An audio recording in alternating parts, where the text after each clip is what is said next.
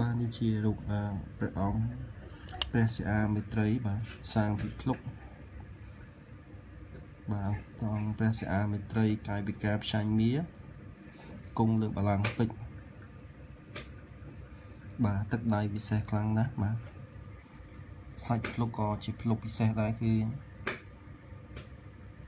ភ្លុកគឺស្អាតមែនតើ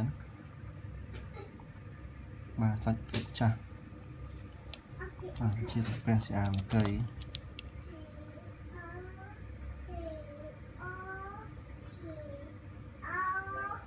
បាទសាច់ភ្លុកស្អាតណាស់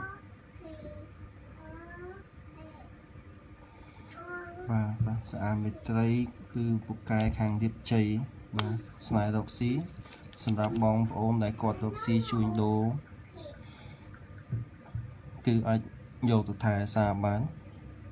គឺព្រះអង្គ តែងតែរាប់រៀបជ័យដល់ម្ចាស់អ្នកថែសារបាទសាច់ភ្លុកគឺស្អាតមែនតើ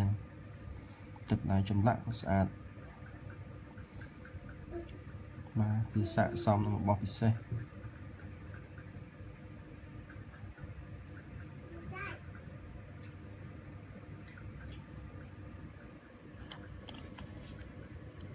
បាទកម្ពស់បាទ 5ហ៊ុនជាងបាទ5ហ៊ុន4លី5ហ៊ុន4លីបាទនេះជារូបព្រះអង្គព្រះសិអាមេត្រីបាទសាងពីភ្លុកបាទព្រះអង្គព្រះសិអាមេត្រីកាយវិការផ្សាញ់មា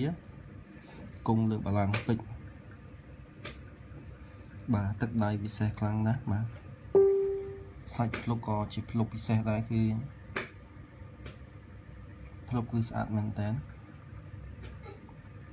បាទសាច់ភ្លុកចាស់បាទជាព្រះសិអាមេត្រី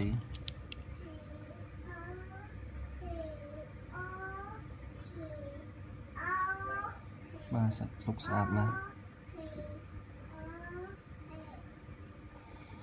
បាទបាទស្អាមេត្រី គឺពូកែខាងរៀបជ័យបាទស្នេហ៍រកស៊ីសម្រាប់បងប្អូនដែលគាត់រកស៊ីជួញដូរ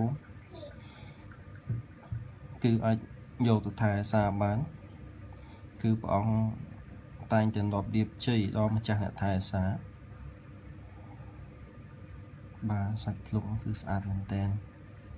ទឹកដៃចម្លាក់ក៏ស្អាតបាទគឺស័កសមនឹងរបស់ពិសេស